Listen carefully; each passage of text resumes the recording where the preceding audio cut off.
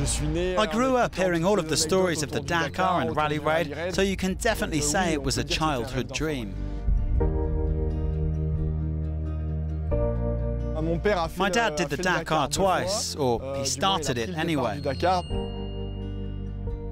Et je suis chaque fois revenu en avion sanitaire parce que je trouvais que le temps était long, il a fallu rentrer. Quoi.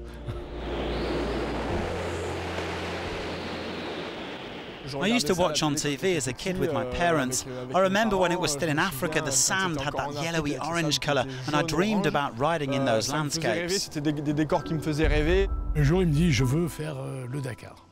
Et moi, j'étais pas du tout d'accord.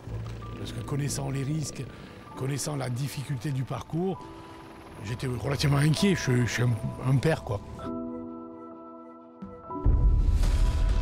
My only objective for my first Dakar in 2023 was to go all the way.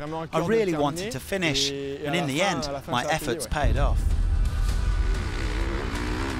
Sa maman, son père, ses, ses sœurs, tout le monde était bien heureux qu'il rentre, sain et sauf, et en plus, avec un, pour nous un petit exploit, c'est-à-dire que pour un premier Dakar, il finit très bien, et il a la chance d'être repéré par le, par le team chinois Cove.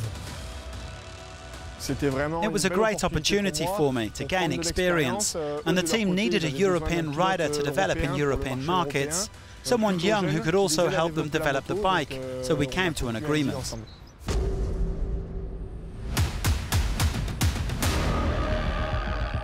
Honestly, I'm not feeling any extra pressure. There is a bit more expectation, and we'll be looking at the results. But it's a new team and a new bike, and we don't know exactly where we are with the new machine. I'll give it my best shot, and we'll see how things develop.